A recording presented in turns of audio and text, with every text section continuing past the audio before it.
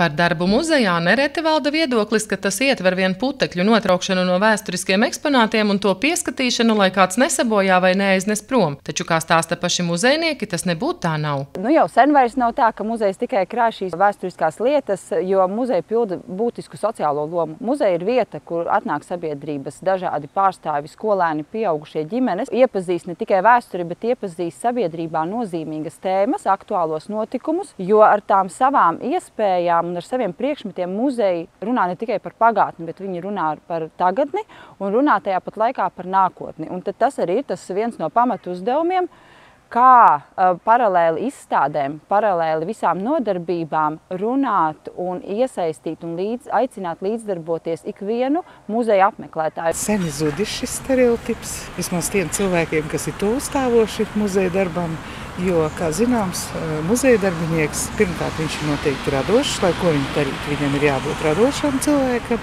gan krājuma komplektēšanas ziņā, gan arī jaundarbu eksponēšanas ziņā un izstāžu darba, gan tā skaitā izglītojošā darba, darbība, tie momenti, kas tagad ir nepieciešami, lai cilvēki ieinteresētos, ir ārkārtīgi radošam, jābūt atbildīgam un zinošam un ļoti vispusīgam un ļoti daudz jālasa un ļoti daudz jāzina un jābūt arī smaidīgam. Šeit jāpiemina muzeja izstrādātās un piedāvātās muzeja pedagoģiskās programmas. Piemēram, Madonas muzejā tādas ir 13. Izzināt jebkuru tēmu mākslā, vēsturē var pa tikai ar šādu programmu nodarbību palīdzību. Un, man liekas, ka tas ir tāds lielisks veids, kā padarīt to muzeju dzīvāku. Tas nav tikai statiska glezna vai, vai kāds priekšmets, bet tā ir šī vēstures izgaršošana, ka viņš tiešām iejūtas um, dažādās lomās, izņem caur sevi. Muzeja darba originalitāte, aktualitāte, vienotība un kvalitāte, sociālā loma, ilgtspēja un lietojamība. Tie ir kriteriji, pēc kuriem izvērtējot nu pat pasniegta Latvijas muzeja biedrības gada balva.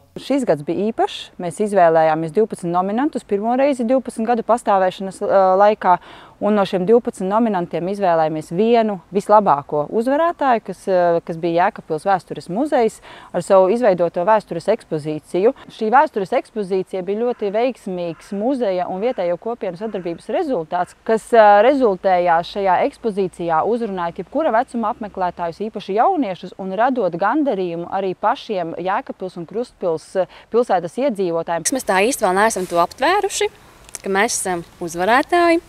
2021. Mēs esam mēs unikāla pilsēta īstenībā. Mēs apvienojam divu pilsētu, divu Daugavas krastu iedzīvotāju vēsturi, kas nav bijusi vienkārša, bet ir bijusi sarežģīta īstenībā šajos vēstures līkločos. Un abi Daugavas krasti ir pamanīti, apvienoti vienā muzeja ekspozīcijā un tas ir novērtējums. Balvas pretendentus vērtēja žūrijas komisijas sastāvs, kurā ietilpst viens pārstāvis no Latvijas muzeja biedrības valdes un četri pieaicinātie komisijas locekļi pārstāvot dažādus ar muzeja darbību saistītas nozeres. Būtībā jebkurš no 12 nominantiem pierādīja, ka pagājušais gads, kas pagāja pandēmijas zīmē, muzejiem dot papildus tādu stimulu radīt arvien jaunus produktus, kas ir pie, pielāgojami šādai attālinātai pat uh, apmeklētāju piesaistīšanai, jo ir skaidrs, ka muzeja bija cieta.